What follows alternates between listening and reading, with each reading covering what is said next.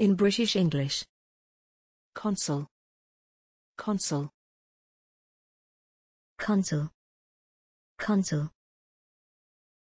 consul, consul. Examples in phrases and sentences. The British consul in Israel. British consul Donald Holder likes the city, too. The campaign worked, and he was elected consul for 108. Furious, he drove both consuls and the Senate from Rome. So the Senate sent both consuls north to meet the Carthaginian. Thanks for watching this video. Please don't forget to subscribe. You can find similar videos for each and every English word in the dictionary on our website.